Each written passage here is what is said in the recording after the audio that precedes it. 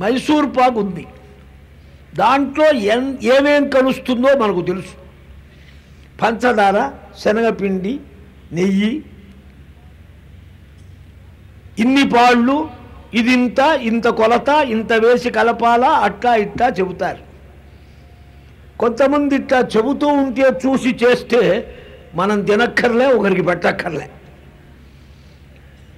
పుస్తకాలు చూసి వంట చేస్తే ఆ వంట ఏం ఎలా అవుతుంది? ఏదో వేస్తూ ఉంటారు చేత్తో తీసి పారేస్తుంటారు ఉడుగుతూ ఉంటుంది కమ్మగా తింటాం. ఇవాళ ఎంత బాగుంది పప్పు అంటూ. ఈ కొలతలు అంశులు పెట్టుకో చేస్తే ఇక ఒట్టిదే. ఇక్కడ విచిత్రం ఏమిటంటే ఇన్ని అంశులు ఇన్ని గ్రాములు ఇది ఇన్ని మిల్లీగ్రాములు ఇది ఇన్ని గ్రాములు ఇది అని కొలిచే జ్ఞానం తృప్తిస్తుందా?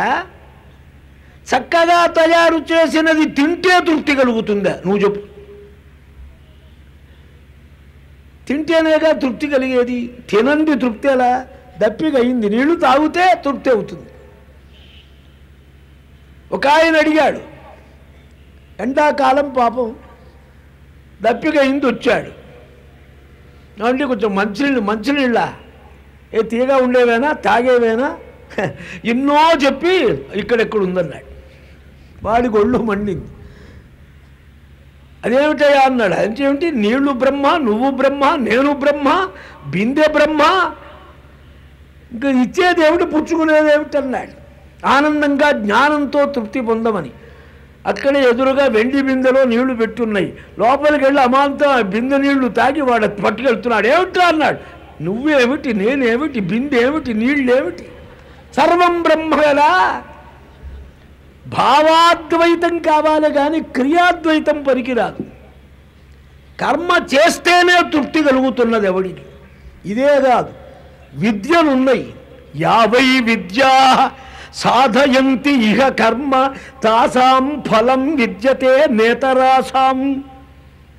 ఇదివరకే మనవి చేసున్నా కలియుగాన్ని బాగా అభిముఖం చేసి వ్రాసిన గ్రంథమే మహాభారతం. సన్యాసాన్ని చెప్పలేదు మహాభారతం. కర్మనే బలపరిచింది. సన్యాసం అంటే కర్మ నెగగొట్టడం. అలా కాదు కర్మ ఎప్పుడూ నిన్ను వదలాలి కానీ నువ్వు కర్మను వదలకూడదు నిన్ను కర్మ ఎప్పుడు వదులుతుంది? నీకు దేహభావం లేక ఈ పని ఈ టైములో ఈ పని చెయ్యాలా అనే భావం లేకపోయినప్పుడు నిన్ను కర్మ ఎట్టుకో వదిలిపోతుంది. నీవు అన్నీ గుర్తుపెట్టుకున్నప్పుడు ఇదొక్కటే ఏకనామం పెడదాం అనుకుంటే వంచన.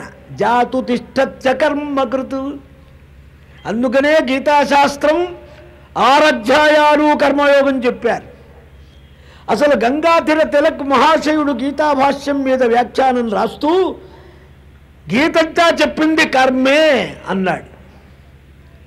లేకపోతే ఇంత గీతోపదేశమైన తరువాత కూడా అర్జునుడి చేత చేయించింది యుద్ధమా? లేకపోతే బ్రహ్మజ్ఞాన సమాధ? యుద్ధమేగా? యుద్ధం చెయ్యటానికి వివేకంగా ఆత్మస్వరూప వివరణ కలిగి చెయ్యరా? అన్నాడు. అంతే. చేసేది నువ్వు కాదని ధర్మం ప్రవర్తించాలని ఇది పరమేశ్వరుడి విలాసమని ఇది నిర్ణయమని ఇందులో వచ్చే హాని వృద్ధులు మనకు కావని అసలు హాని పొందేది ఆత్మ కాదని ఎంత స్థితప్రజ్ఞ లక్షణాలన్నీ సాంఖ్యయోగం. రెండో అధ్యాయంలోనే చెప్పినా రెండో అధ్యాయంలో అంత జ్ఞానం చెప్పాడు. మళ్ళీ మూడో అధ్యాయంలో కురు కర్మ ఇవ కౌంతేయ కర్మజ్యాయోహ్య కర్మణ. కర్మే చై ఏవా నిశ్చయార్థే. కర్మ అకర్మ కంటే చాలా గొప్పదిరా అన్నాడు. అందుకనే మహానుభావులు కూడా కర్మ చేస్తూ ఉంటారు. జగద్గురువులు కూడా అభిషేకం చేస్తారు పూజ చేస్తారు స్నానం చేస్తారు జపం చేస్తారు. అంటే మనలాగాని కాదు వారిని చూసి మనమంతా చెయ్యాలని గొప్పవారు చేయకపోతే మనకు కూడా కొంచెం తేడా వస్తుంది. ఒకప్పుడు అప్పయ దీక్షితుల వారు మహాపండితులు. గంగలో స్నానం చేస్తున్నారు అర్ఘప్రదానం చేసేటప్పుడు ఆయనకు తెలియకుండా గోచి ఊడిపోయింది. అప్పయ దీక్ష వారు అంటే పండితులందరికీ మహా గొప్ప ప్రమాణం. ఈ పండితులంతా చూచారు అసలు అర్ఘప్రదానంలో గోచి విప్పుకొనే చెయ్యాలి కాబోలనుకున్నారు ఇన్నాళ్ళ నుంచి మనకు తెలుస్తావలేదు వెంటనే ఉన్న గోచీలన్నీ పీక్కొని వీళ్ళు మొదలుపెట్టారు అర్ఘప్రదానం అంటారు ఒక ఐతిహ్యం. యజ్జదాచరతి శ్రేష్ఠ తత్తదేవ ఇతరో జన గీత. స యత్ప్రమాణం కురుతే లోకస్తమనువర్తతే అందుకని నేను కూడా కర్మ చేస్తూ ఉంటానన్నారు గీతాచార్యుడు. కనుక కర్మ లోకానికి చాలా అవసరం.